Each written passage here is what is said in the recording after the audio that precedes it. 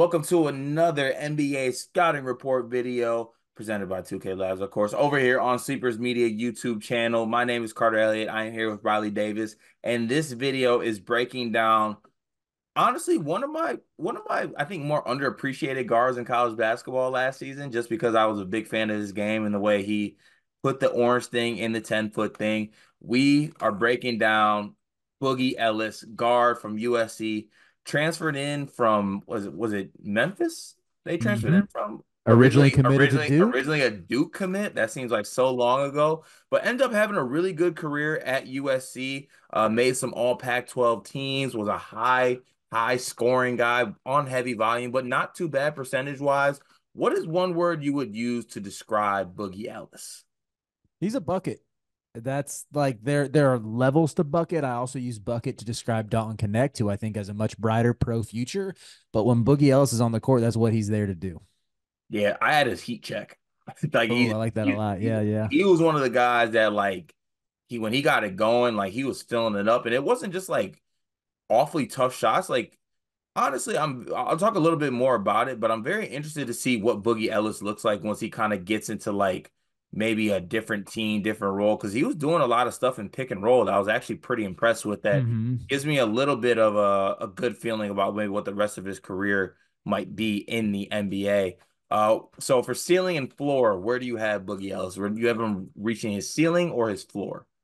Yeah, and uh, I like him as a player. Like you, you were saying, he was fun to watch in college, but I said floor just because it, for skinny guards like that who are sort of combo-y, it's it's unfortunately a safer bet just for them to hit their floor. It's hard for those guys to stick, and it's even harder for media guys like us just to like project what's going to happen. Yeah, I, I, said floor as well. Also, you just know what he is. Like he's he's played a lot of years. He's gonna be like 24 by the time he's drafted. I he just kind of is what he is, and mm-hmm. I think his best bet is him just kind of embracing that. Um, what do you have as the best team fit for Boogie Ellis?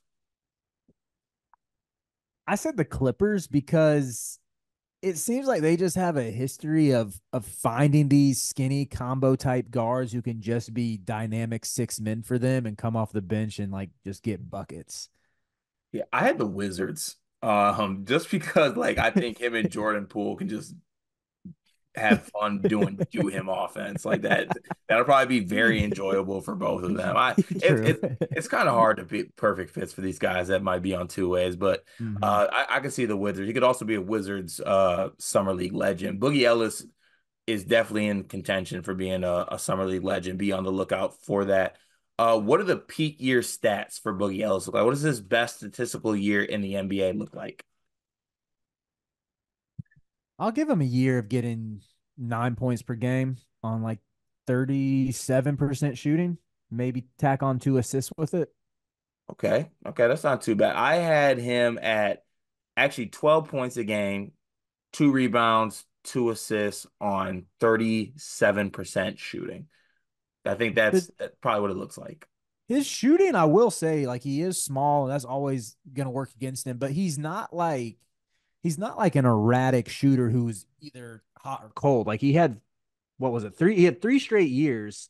Uh actually four straight years. He played 5 years of college ball. Four straight years of shooting 38% or better from 3. Um 87 made threes this past year, 83 the year before. Like the dude the dude he can shoot. Yeah, he could definitely shoot the ball. I mean, I, I, I think the scoring is if he gets in the right spot, he can find it. He's just a guy I think needs a lot of things to go his way, given his size and other things. Um, so in five years, Boogie Ellis is most likely to be All NBA, All Star, starter, bench, G League guy, or podcaster.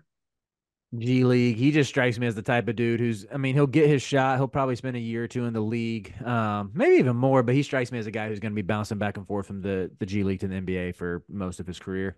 I said overseas actually because I think Boogie's just gonna one day say "f this" and go play for Olympiacos and be like first team All Euro League, and uh, he would light it up overseas. He would light it up. I think that he might be like, "This is just," and he's great at getting fits off. I don't know if you follow Boogie Ellis on IG. Like he would go crazy overseas. Like the fits would be immaculate. Everything would be the aesthetic, the aura, everything would fit for him.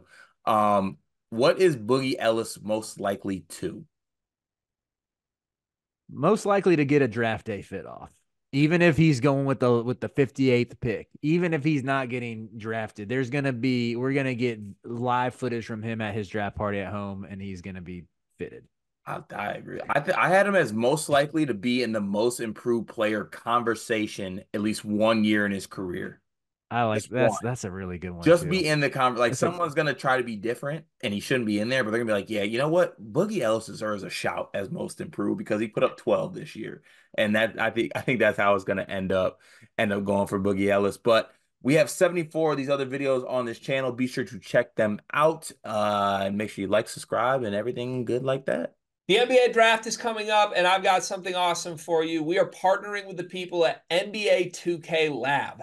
NBA 2K is the best video game on earth. The people at 2K Lab are making some awesome stuff to make that game even more fun. And they just launched their 2024 NBA Draft Simulator, where you can find the official Sleepers Media big board. We ranked our top 75 players in this draft class me, Carter, Brian Ralph, Riley Davis. We did it together, and it is featured on the 2K Lab NBA Draft Simulator. You can take control of any team in the draft play GM with just one click, and see our entire rankings before these videos even come out. Check out the link in the description of this video to try out the draft sim for yourself, and you can find more mini games at nba2klab.com slash nba-mini-games.